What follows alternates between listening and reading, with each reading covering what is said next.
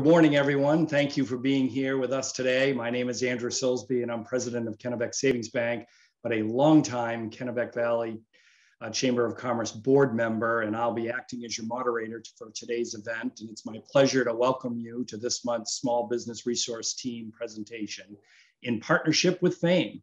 Quarterly, this group of professionals gathers here to hear insightful industry learned knowledge and topics that are forwarded by our members. I'd like to take a moment just to recognize that these presentations really wouldn't be possible without the support of G&E Roofing, and we're very appreciative of their sponsorship. So before I introduce our speaker, I have just a few announcements that the Chamber asked me to cover, uh, so bear with me a little bit here. Our business after hours will be hosted by Vanderbrew in Winthrop on March 23rd from 5 to 7 p.m. The event is a great place to network with chamber members and local business representatives. They have plenty of space there for everybody to spread out. So come join us for a great uh, evening of networking. Our next women's luncheon will be, uh, May, uh, excuse me, April 13th at 11.30 a.m. at the Augusta Civic Center. Uh, Rachel Zachariah from Maine General Health will present on women's health titled Take Time for Your Health. Okay, so today's presenter is Mary Pelletier. She is a next gen 529 college savings counselor at the Finance Authority of Maine, FAME as we call them locally. Uh, she's a graduate of the University of Maine, my alma mater, uh, and she graduated with a bachelor's in art education and a background in teaching from preschool to 12th grade. So we should have a great presentation here from a former teacher. At FAME, she continues to help students and families achieve their aspirations of higher education and fulfill their goals uh, for the future. FAME provides targeted financial tools, information programs to help grow Maine's economy and to help Maine residents become financially capable and afford higher education. FAME administers both Next Gen 529 and Maine Section 529 plans, which many families use to save for higher education. So please join me in welcoming Mary Pelletier. Thank you so much, Andrew. And thank you to Iris and the rest of the KV Chamber for um, having me today. I'm really excited to present for you all. So Iris, just before I get started, am I all set? My pinned? Awesome, thank you. Okay. So um, what I'm gonna do today with you guys is I'm going to share some really good resources from FAME to help you set up a financial wellness program for your employees. So we're going to talk a little bit about what financial wellness is and why you should be aware of it and why it might be something you want to offer to your employees. And I'm going to show you the FAME Employer Financial Wellness Roadmap, which was created are debuted this January, and it is a roadmap that will help you set up your own financial wellness program and talks a lot about what FAME does for their employees and the best practices that FAME has learned for um, through research and data they've collected over the last couple years to um, support employees through financial wellness.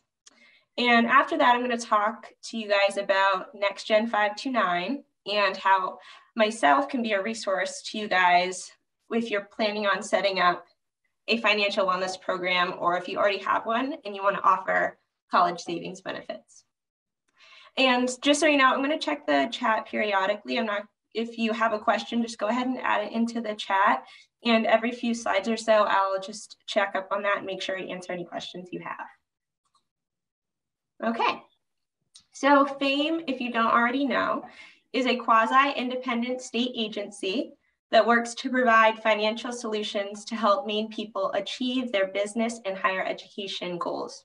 So as Andrew already said, I am a next gen college savings counselor with FAME. I work under the education team and the education team really focuses on planning, saving, and paying for higher education. So I'm gonna talk a lot more about what exactly I do at FAME in the second half of this, but um, you should definitely know that this the that FAME really works to help businesses and individuals achieve their um, their higher ed and business goals.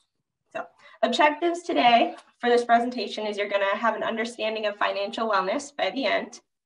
And we're going to understand the benefits of offering an employee financial wellness program. You're going to walk away with some resources to start your own financial wellness program if you choose to, including the financial roadmap and other resources that we have available. And then we're gonna learn about NextGen 529 and how it can be used to save for higher ed. So what is financial wellness? You might have heard of this term before. You might have heard of the term financial literacy before. There's a lot of different terms that can be used, but um, the definition that we're going to be using comes from the Consumer Financial Protection Bureau. And they have done a lot of work to make this definition. They worked with consumers to see how they define financial wellness for themselves. And what we're using is Financial, financial wellness is having control over day to day and month to month finances. So, do you have the capacity to absorb a financial shock? Do you have a rainy day fund for if your car breaks down? Or do you have three to six months of emergency savings for if you or your spouse loses their job? Are you on track to meet your financial goals? And do you have financial freedom to make the choices that allow you to enjoy your life?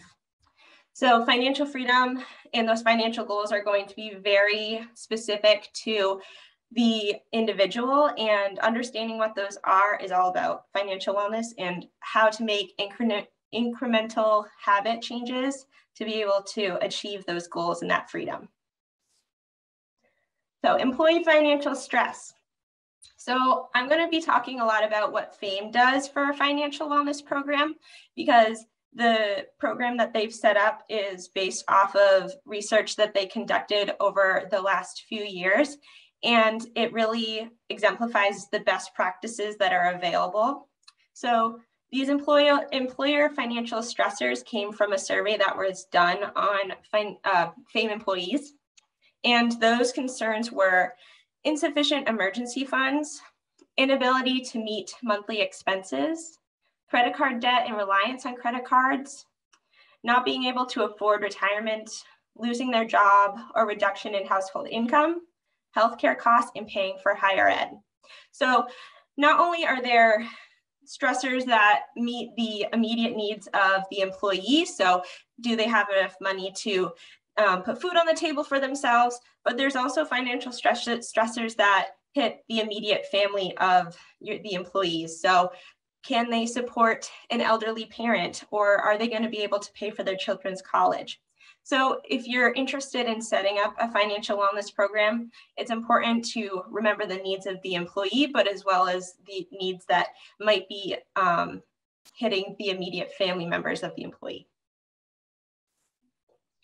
Okay, so as an employer, why should this be top of mind for us? Of course, we care about the employees that work for, for us, but we also have other benefits to offering benefits like a financial wellness program. And one of those is that programs like these have shown to increase productivity and reduce stress.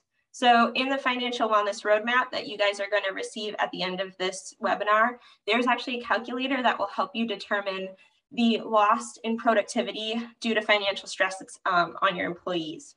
So I encourage you to take a look at that if, that's something that interests you. It's a an eye-opening experience to see how much stress really does affect an employee, their productivity and their ability to just be at work. So um, you know, stress can really affect your health, as we all know.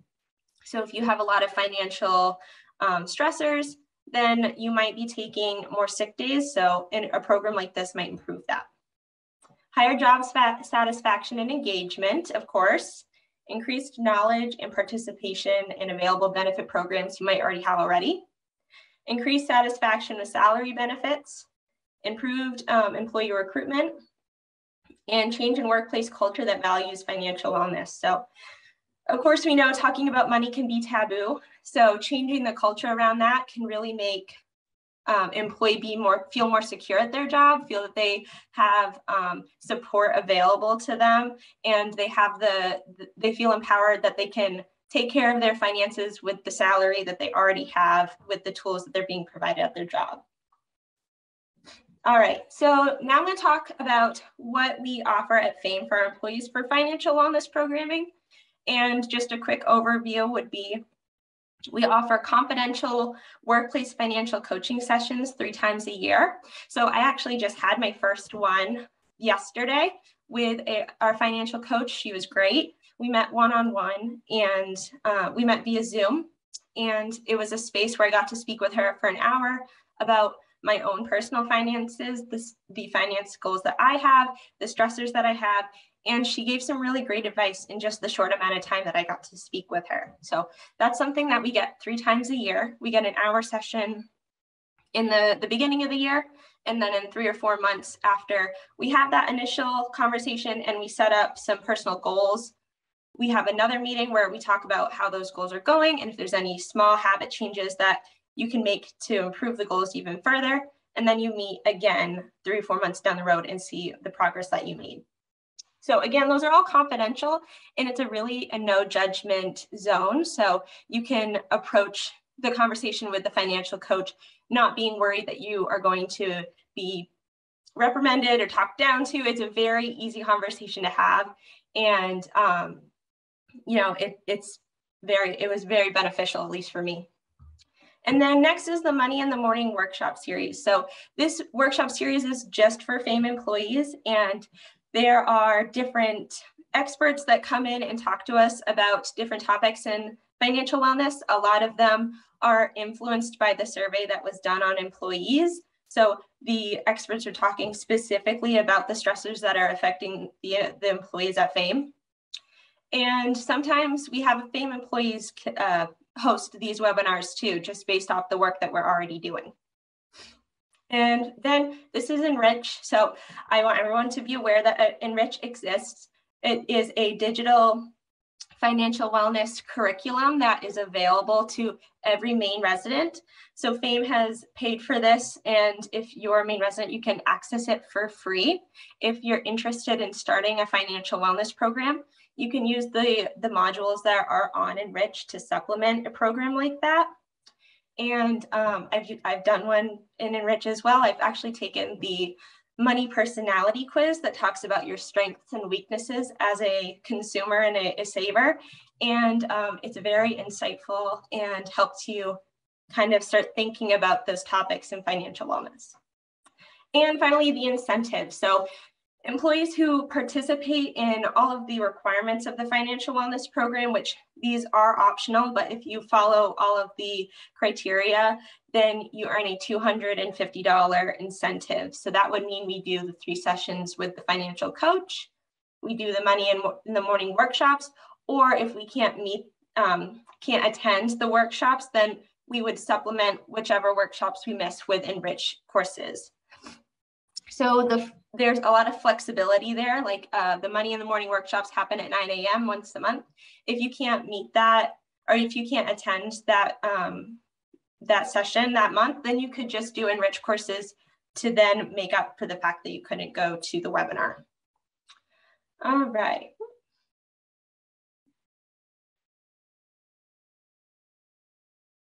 Okay, so before I move on, I just want to check the chat really quick. I don't have any questions so far. And uh, like I said, if you have any questions that come up, just feel free to put those right in there, but I'll keep moving along. So like I had mentioned before, FAME did a lot of data collection around the um, financial wellness program that they had in place because they wanted to find if it was working for the employees and what were the outcomes of, of the steps that they took to offer this type of programming. So some quantitative research outcomes that came from this were employees who participated in FAME's Employee Financial Wellness Program increased um, financial capability. So they had average financial well-being, um, excuse me, participants had higher average financial well-being as measured by the U.S. Consumer Financial Protection Bureau's Financial Well-Being Scale. Participants overwhelmingly made financial goals. And that really comes from the goals being very personal to the individual, working with that financial coach, making those small incre incremental changes to their daily life to be able to meet the goals that they set for themselves. progress towards meeting financial goals did not come at high cost. Again, these were small habit changes that um, we worked with coaches to be able to, um, to achieve uh, the goals that we had set. And the benefits of FAME's employee financial wellness program exceeded the monetary and opportunity costs of the program. So the monetary cost of this program that FAME had set up was around $450 per participant and modest opportunity costs. But the benefits that came from it, which were reducing employee debt, building up employee savings, financial literacy gains, and financial well-being exceeded the cost to have the program. So here are some qualitative data outcomes. FAME had Financial Literacy Group, a research firm that looks for evidence-based solutions to financial challenges, come in and host focus groups. And um, the full report from the focus groups, as well as the quantitative data I just talked about, are in the roadmap. So you'll be able to see all of these outcomes again. Don't feel like you have to um, take notes or, or um, try and quickly jot this down in your brain. But the outcomes from the focus groups that were, were hosted was that the topics in the workshops that were done in the enriched courses were engaging, um, mostly because the topics in the month, Money in the Morning workshops were created based off the survey that was done um, on the employees. Support and account accountability, but not judgment. So the financial coach inspired candor in action. It was a very um, no judgment zone. You were able to make um, realistic goals for yourself and make those small changes to reach them. Assistance balanced with autonomy. So you had the freedom to make the goals that fit best fit your unique situation.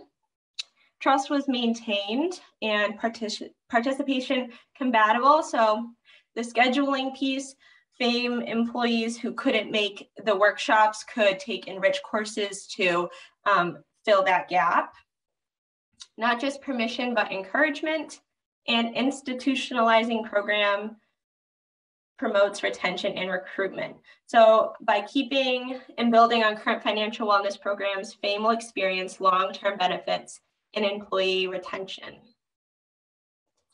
So this is where um, you're gonna get a lot of different resources for if you want to start your own financial wellness program. The first right here on the right is the roadmap. So the roadmap talks about the best practices for starting a financial wellness program and talks um, in more in depth about the program that FAME does and the research that came from hosting a program like this and um, doing surveys and focus groups and really finding data to help support the, the choices that were made for the program. And then at the end of the well, wellness roadmap is um, additional resources that will be very helpful for you if you plan on starting your own financial wellness program. So I highly encourage anyone interested to read through that. But I also encourage you to visit the FAME website. So FAME's website, FAME, F-A-M-E, Maine, M-A-I-N-E dot com will have additional resources. There's a whole employers tab that has um, things in addition to the roadmap that will help you if you're planning on starting a program like this.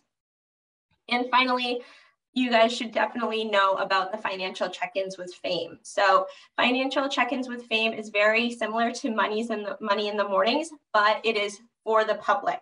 So there are different areas in financial wellness that fame will host a webinar about, and you could use these to supplement your own financial wellness program. It's important to note that these are, are um, webinars that you could join, like the one we're doing right now, or you can go back into the archive and watch the video after it's already been recorded. The two that are coming up right now, if you're interested, is April 1st, the free digital well financial wellness resources for students and families, and then May 6th, managing student loan repayment. Okay.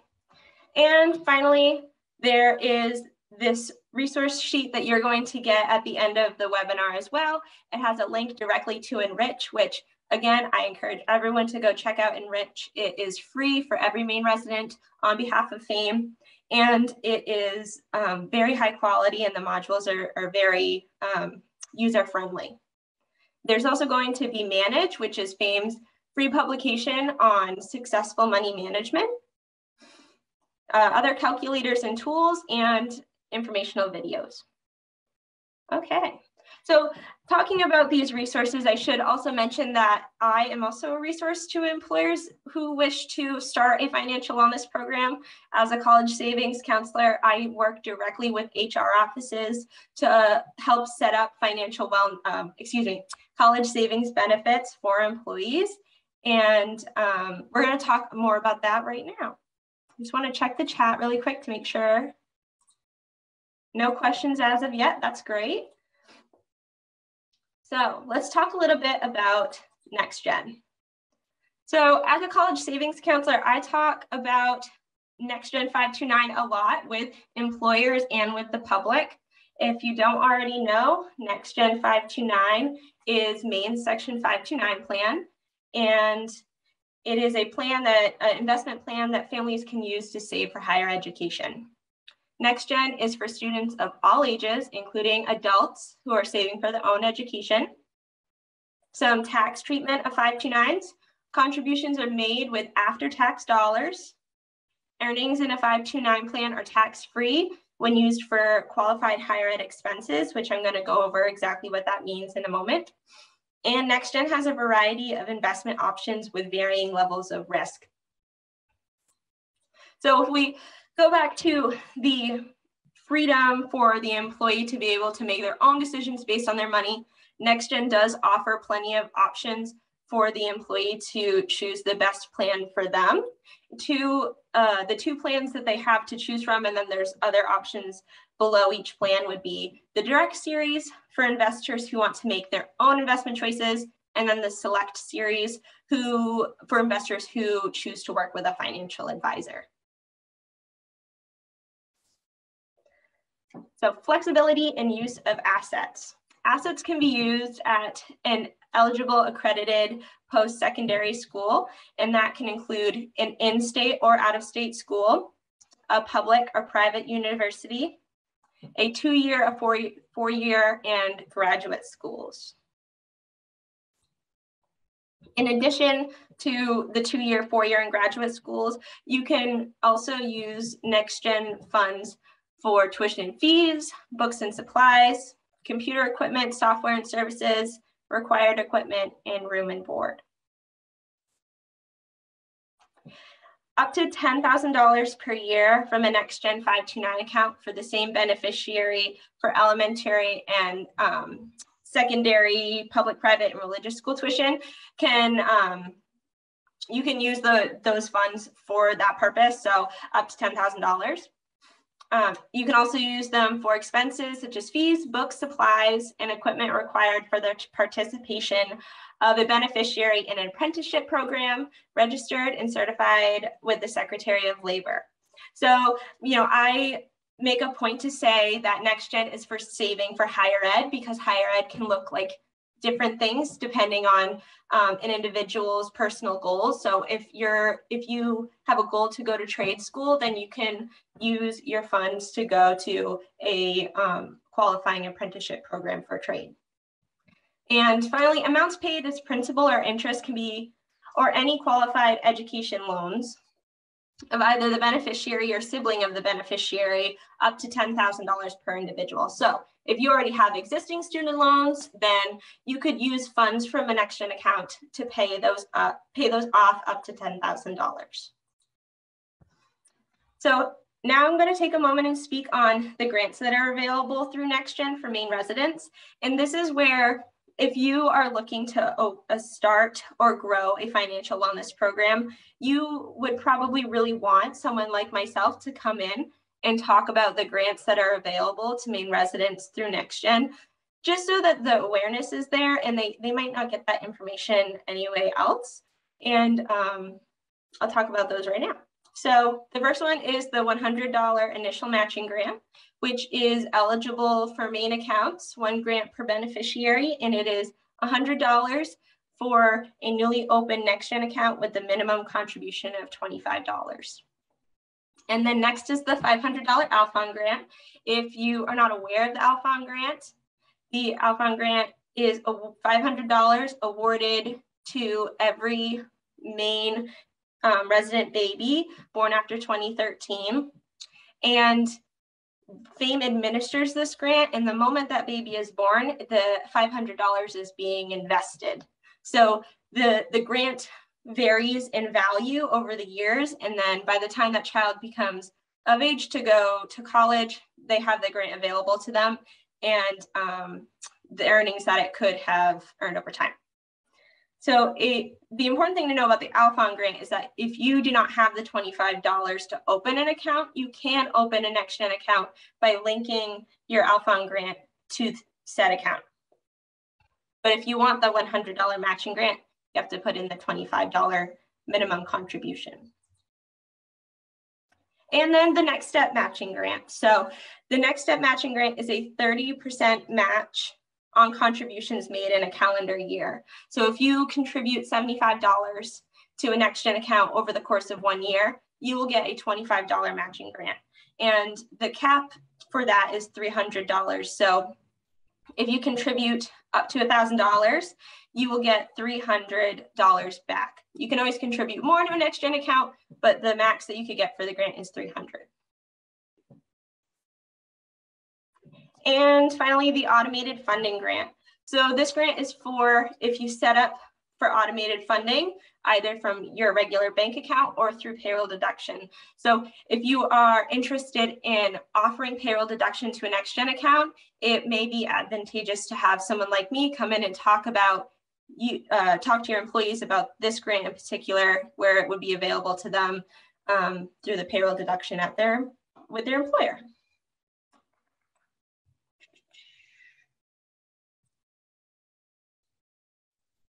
Okay, so matching grants and any other earnings, it's important to note that um, they can only be used to pay for qualified higher education expenses at a post-secondary institution.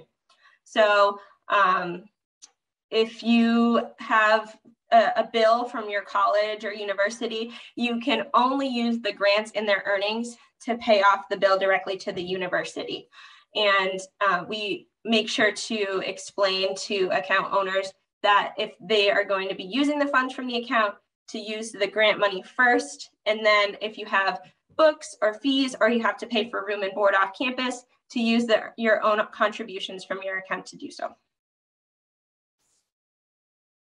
And finally, I'll just give you um, a quick example. So contributing $1,000 per year into a NextGen account will make uh, for Maine resident will make you eligible for a next step next step grant of $300 per year. Uh, that total would be 1,300. If you did that for 20 years, not even taking into account the way the market goes or the um, the different grants that you might be eligible on top of that, that's $26,000 um, with just the, that element added to it. So saving versus borrowing.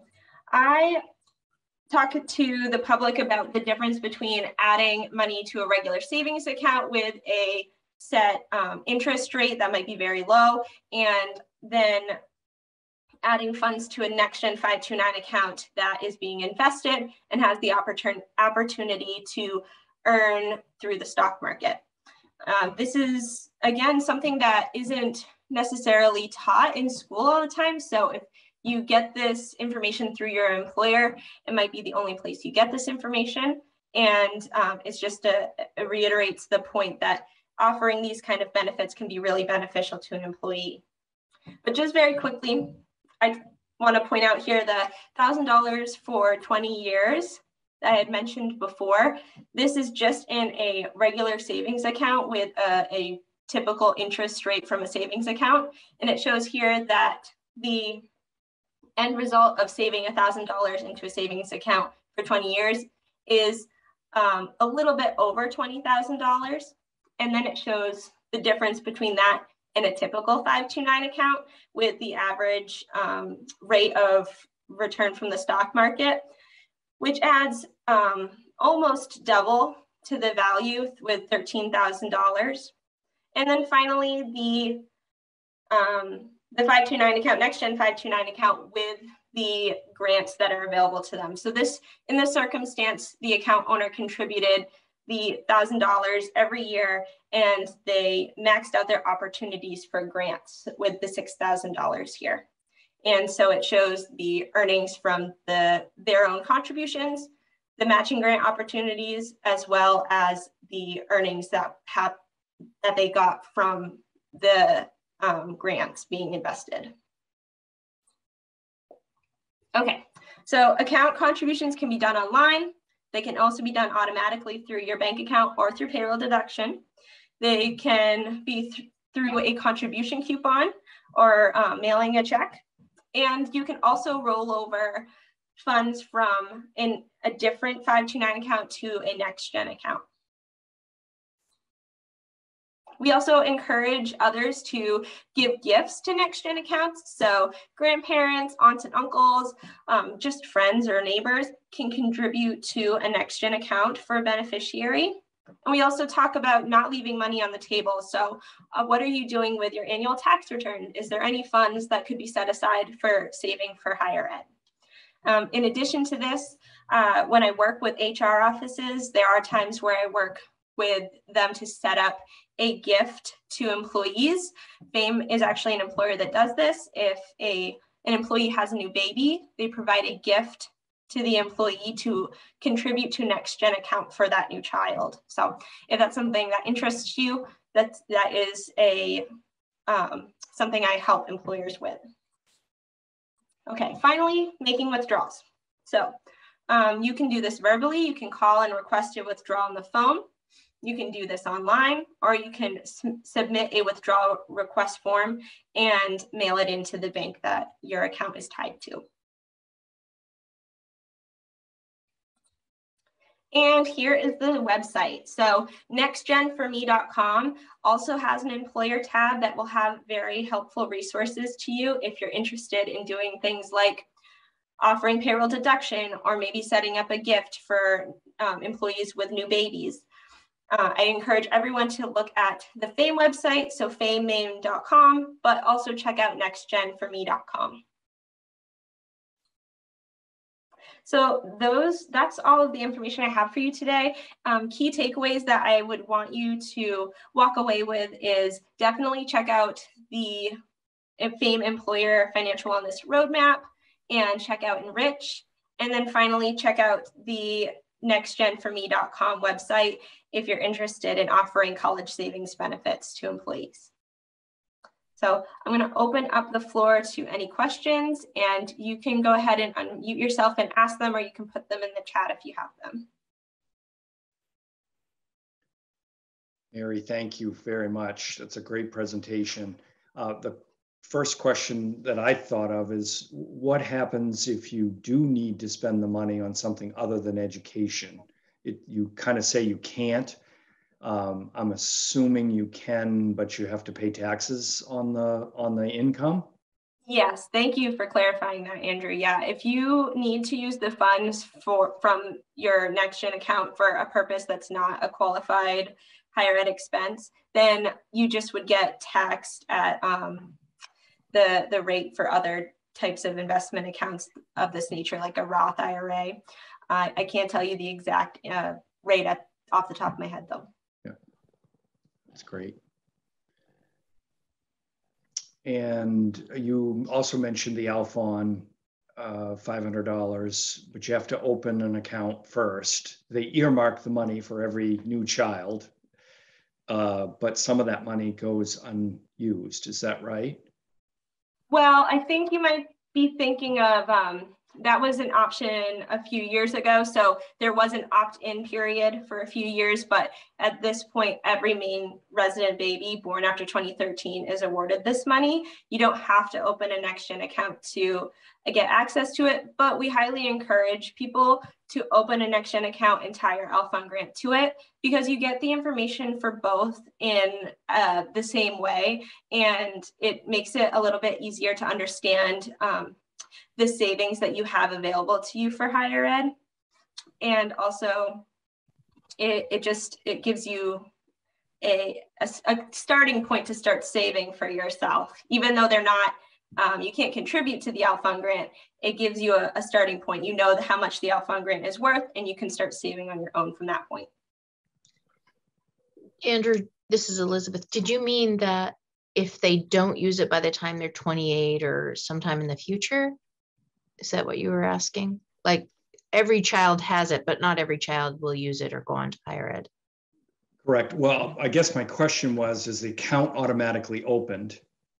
Or, or does Ah. a parent have to do something? Do you mind, So- if Mary, Mary, if I say? Go ahead and take that one. Yeah, go ahead. So I was uh, originally the Alfond program manager 14 years ago at FAME. And the way we say it now that it went universal, every chat, we take the BVR list, the Bureau of Vital Statistics records, and set aside those funds for each child. Um, but it is a grant. The child never owns the grant, the family never owns the grant. You have to open an account because you can't add to the grant. And I think that's what a lot of people don't understand is it's reserved, it's there. If the child goes on to higher ed when they're 18, we will send the grant and any earnings to the school they choose that's qualified. But otherwise, it sits there for that child. It gets recycled when they're 28 because that's when it expires if they don't use it.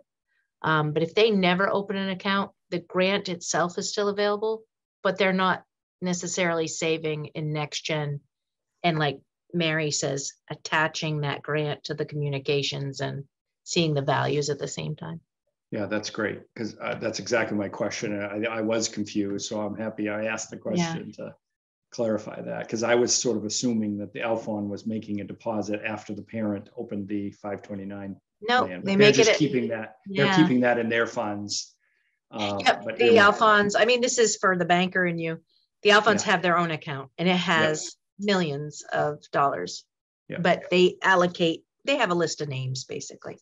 You know, Yeah. January 2022 babies were born Yep, and we just invested the money. great. Yeah. Are there other questions? I just wanted to clarify for Mary, I always say eligible Maine accounts. There's um, a Maine account is an account owned by a Maine resident or where the beneficiary is a Maine resident that's named to the account. So even some of your employers may not have children, but they might be a grandparent or an aunt or an uncle to a child. And so they would be eligible for a lot of the grants as well. So it really is kind of a universal benefit to employees. There's probably every employee knows a kid and could um, help the kid. And if you don't have one, you can use my daughter. And Mary, uh, transferability to other kids. So let's assume we've got one kiddo uh, that that you thought was going to go to college that goes into the service, let's say hypothetically, uh, but you got another kiddo that's coming along. Mhm. Yeah, so you can transfer funds and earnings from a next gen account uh, to a different beneficiary, but it isn't really important to note that the second that you do that, the grants that that one beneficiary was eligible for are null and void. Yeah. I, I think there was another question somewhere. Um, maybe I thought I saw a hand raised, but no. How would you uh, apply for the grant? When you've got a student, a child ready to go off to college, how would you apply for the grant or to draw that $500 from the Alfond? So if you have a, like if your child or the student that's going to college applies for the school, the Alfond grant will automatically show up on their financial aid. Oh, nice. Good. And Thank correct me if I'm wrong, Elizabeth, because she, like I said, she's the expert. I'm not sure because we haven't built that yet. The, the oldest Alfond grantee was born in 2008. So they're not quite going to college yet unless they're, uh, you know, they're 16 now. Well, Um, they and the wouldn't qualify, universal children good. are nine. So, Oh, um, so eventually we'll have a process to make sure that the grants go first. But I will say when you today, a lot of children are going off to school and they have the other grants, not the Alfond grant, but all the other matching grants. And we always try to advise and help the person understand they should withdraw their grant money first. Because if you wait and save it to last, um, the grants are there and they don't have enough funds contributed to withstand the grants. So the grants could be null and void, like she says. So that's kind of a hard thing to know about. Even my niece, who worked for Fame, she didn't work for Fame when she was in college, but um, her mom was taking distributions and she she forgot to ask for the grants first from the uh, let you know we have a banking partner. So I, we do have to do a little more communication around that when students are of uh, attendance age to take the grants out first because it's a, like a term and terms and conditions item, right? Mm. And Merrill Lynch is our um, person for our direct series, so they're usually pretty good about it, but it's always it's always a little bit a little bit of a jigger at the end there. okay, any other questions? Mary Pelletier and Elizabeth, we got a bonus uh, having you uh, join us too today, so that's great. Uh, I'd like to thank uh, G&E Roofing as our sponsor and hope you all attend some future chamber events. Mm. I, and I can do nothing but give you back uh, 15 minutes of your day. thank you thank all you for all. taking the time. Thank yeah, you. Good job. Great job, Thank Mary. You. Thank you.